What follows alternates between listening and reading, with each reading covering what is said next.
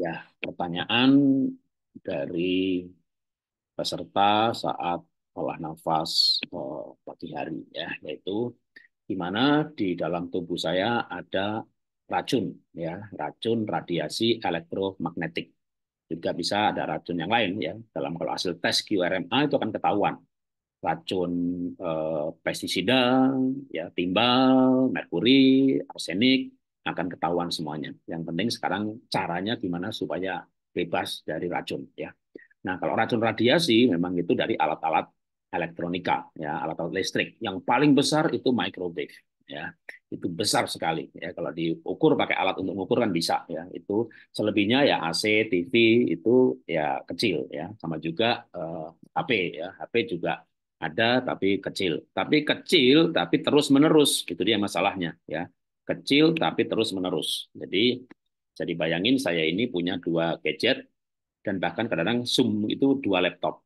Satu laptop untuk Zoom, sambil Zoom kalau saya bukan pembicara, saya sambil kerja. Dua laptop, dua gadget. Ah, udah, elektromagnetik dalam tubuh saya skalanya merah kalau dites dengan uh, RMA ya. Tapi yang besar itu juga hair dryer itu gede sekali ya. Di, di seminar mengenai racun elektromagnetik, Pak Jos pernah menyampaikan angka-angkanya. Jadi tiap hari pakai hair dryer itu ya di blow, ah, udah. Itu lebih tinggi daripada alat-alat kesehatan di rumah sakit ya. Misalnya uh, waktu di rumah sakit dites dengan alat apa ya air kontras dan segala macam itu nggak seberapa ya. Tapi juga besar sekali kemo radiasi ya. Namanya kemo dan radiasi kan memang diradiasi tapi demi menyembuhkan kankernya ya jadi kadang uh, pilihan itu kan misalnya vaksin ya COVID dulu kan belum yakin aman apa enggak nih wah dari satu juta kasus dari satu juta yang divaksin ternyata ada yang jadi letoy, ada ambruk gitu ya. Tapi demi keselamatan jumlah yang lebih banyak lagi ya. Belakangan kan baru diakui bahwa memang vaksin jenis ini, jenis itu gitu ya, ada dampak sampingan, lebih bagus yang bukan uh, buatan tapi betul-betul yang vaksin uh, COVID yang virus yang dilemahkan dan dipakai sebagai vaksin, bukan yang rekayasa ya. Tapi kan udah udah terlanjur gitu ya. Tapi itu kan juga darurat ya.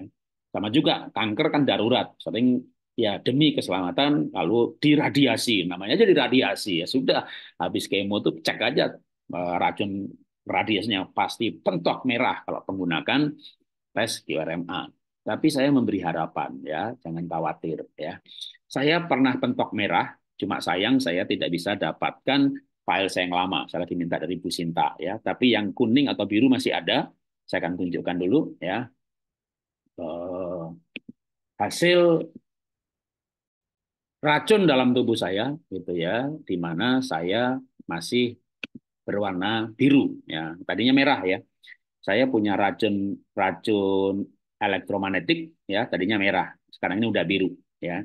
Pestisida tadinya kuning, sekarang udah biru juga ya tembakau, nikotin, biru, padahal saya nggak ngerokok ya, karena memang nikotin itu tidak hanya di tembakau ya, tapi juga ada di yang lain ya.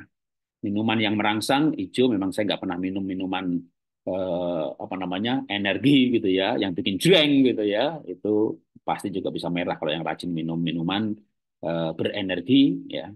Lalu gimana racun yang lain yang logam berat? Ya, nih saya juga ada timbel dan merkuri. Ya timbel ini kan asap kendaraan ya. ada juga kalau tambalan gigi yang zaman dulu. Saya ada tambal tambalan gigi zaman dulu. Jadi QRMA akan mendeteksi pokoknya ada timbel dalam tubuhnya dari mana pun asalnya. Ya orang-orang yang punya tambal gigi zaman dulu kan ada timbelnya. Ya kalau mau hilang ya dicabut gitu. Kalau enggak ya biarin ya. Tapi eh, ini ada ya aluminium nah, bisa juga dari alat-alat masak yang terlarut ya tapi yang penting tidak usah khawatir soal ada racun dalam tubuh sekali lagi tubuh kita punya fungsi detox ya. Nah, sekarang singkat cerita.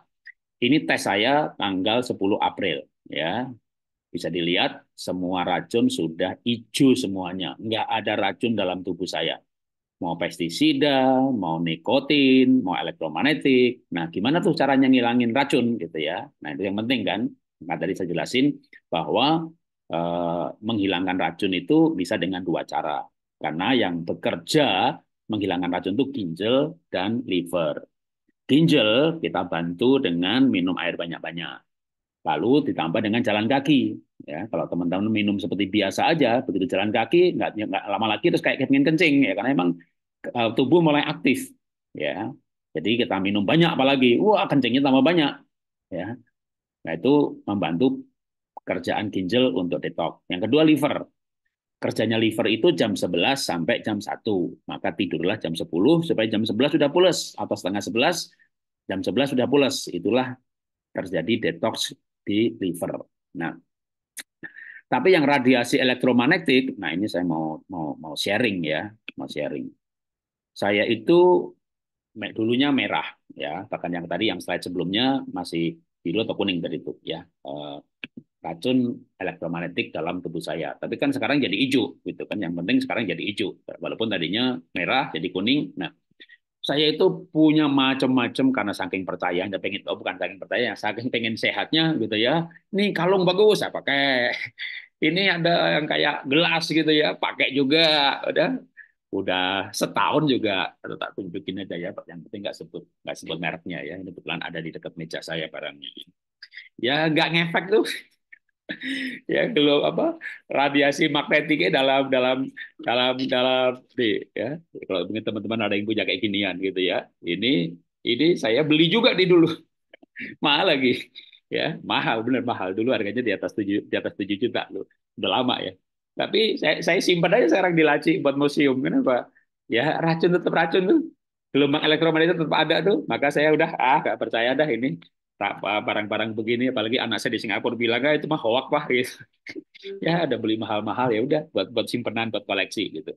Terus ceritanya kan masuk apotek PHS apotek PHS itu sedikit masuk KK Indonesia tapi saya punya saya KK itu saya berikan nama apotek PHS tapi ini bagian dari KK terus di KK itu kan ada kalung juga ya kan? Nah tapi kan saya udah punya pengalaman aneka macam jenis kalung kalung ion negatif lah kalung kalung apalah termasuk yang gede ini tadi gitu ya tetap aja racunnya masih ada jadi ya saya tahu di KK yang saya pakai sendiri bermanfaat kan Romil, SGF, saya radang prostat, Niwana, lalu radangnya dari skala 9,5 udah 7 gitu ya. Keren, menurut saya keren banget. Istri saya hemoglobinnya 8 ya dengan minum SGF satu bulan aja 14 gitu ya.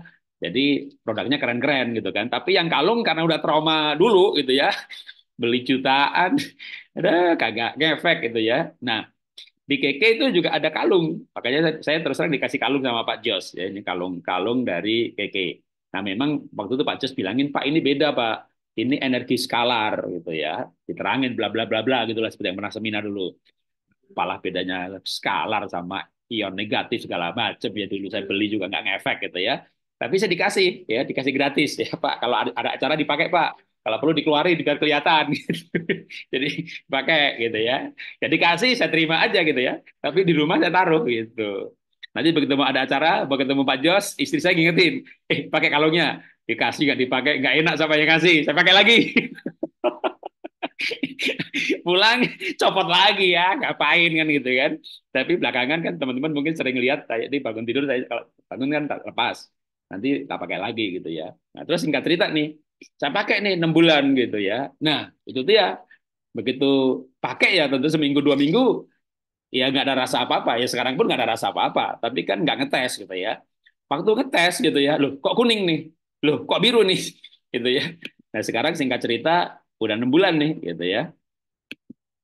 Racun di tubuh saya gitu ya. Tadi yang sebentar yang file satunya ya udah saya siapin tadi eh,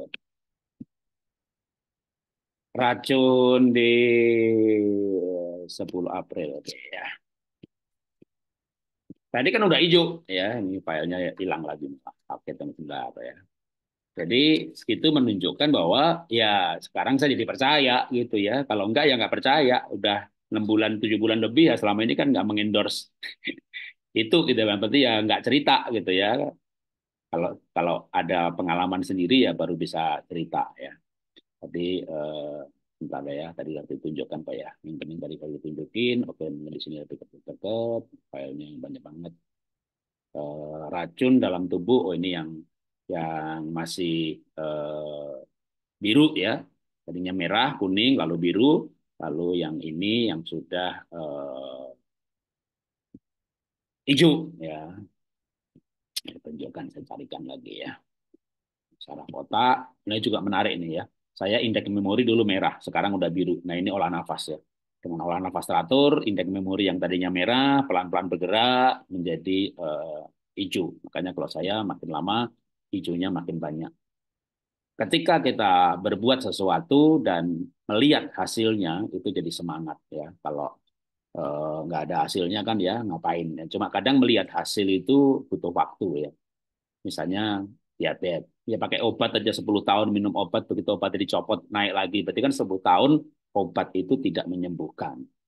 Tapi kalau kita olah nafas, olah hati, olah pikir, olahraga, bahkan bisa lepas obat, nah itu kan yakin menyembuhkan. Cuma sekali lagi pakai obat aja lama, apalagi nggak pakai obat, ya. Namanya olah nafas, olah hati, olah pikir, olah tidur, itu kan pola hidup.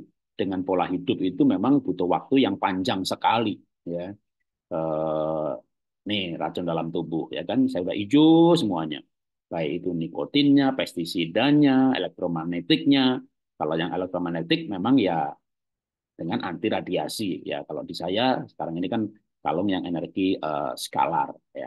Apalagi anak-anak zaman sekarang kan gadgetan terus ya. Tuh kalau tes QRMA ini yang orang suka gadgetan terus ya udah pasti merah, merah, merah dan dan WHO ya itu kan sudah memasukkan radiasi elektromagnetik itu termasuk racun karsinogen.